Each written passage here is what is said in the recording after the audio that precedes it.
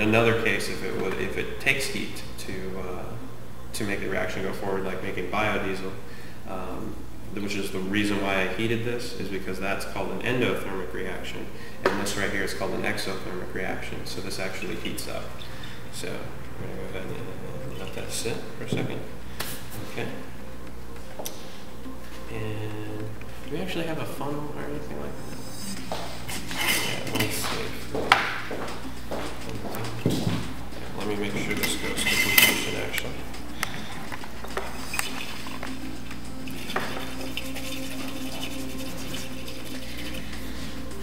Wow, that's heating up.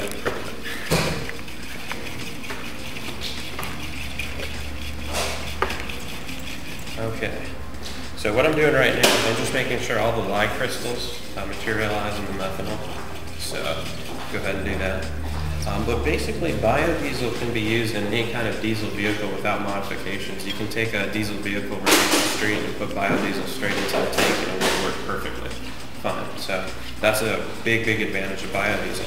But there are also vehicles on the road today that you can actually take direct vegetable oil and put it right in the vehicle and it would work. And that's called a straight vegetable oil vehicle.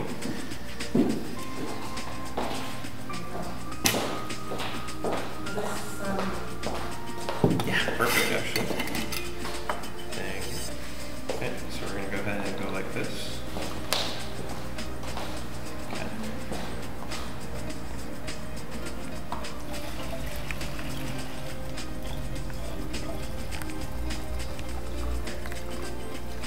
go ahead and go like this.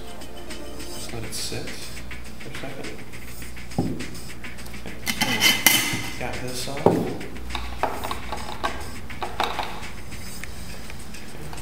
We'll go ahead and move this off this side. Okay. There we go. All right. So what we're going to do is gonna, I'm going to cap this off right here, and you can actually feel the heat, actually, and it forms actually a layer. But what we have to do is I just have to go like this. Give it about maybe 50 shakes or so, just like this, and that mixes it up. If you ever get a chance to visit a very large biodiesel plant, what they do is they use huge, huge tanks, like they're several stories tall, and they put the, uh, the sodium hydroxide in through the top and they mix it, and it's really amazing to see what kind of oil they, they uh, or the result of uh, making that. So it's pretty neat. And most biodiesel plants either use soy or canola, so they actually use this. So this is something very, very simple that a lot of people do in their garages, and they use uh, used vegetable oil, which a lot of uh, restaurants use, and they they set up reactors in their garage, and you know on the weekends or whenever they have time, they just make biodiesel. It's not a long process. It can take about three hours to fully make a, a batch that can run your vehicle. So as you can see, it's basically changing colors, but I want to make sure that I give you a full reaction. In, in, uh, in larger scale, when making biodiesel, you usually put it in a tank and you have propeller blades at the bottom or something and it mixes for you. So in this case, I'm just doing it by hand,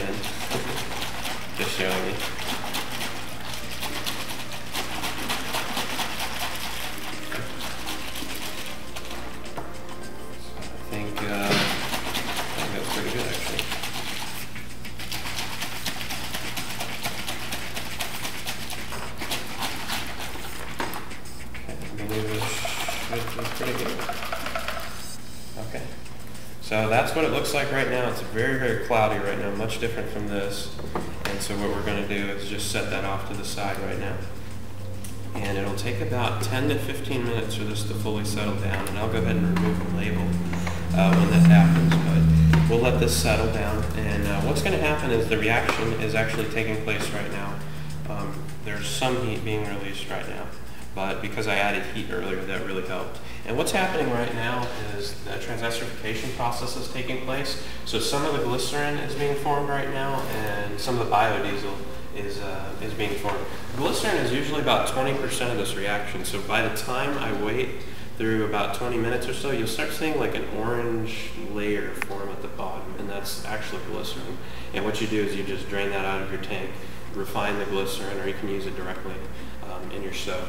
So once that uh, once that's removed, you basically have biodiesel, and you can do a couple things. You can actually uh, drip water on it, or uh, do some other techniques. And what that does is that just cleans up your biodiesel a little bit.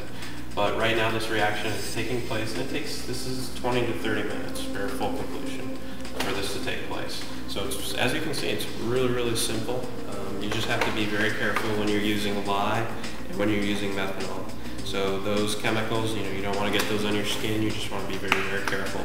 So in this case, I was wearing, you know, full protection on, on my hands, which was very, very good. Um, you know, in, in large-scale biodiesel plants, everything is basically mechanical. You know, uh, it's uh, mechanized, so it's uh, very easy. You see large amounts of lye and large amounts of methanol being added to huge vats of oil, and it's very, very neat to see it on the industrial scale.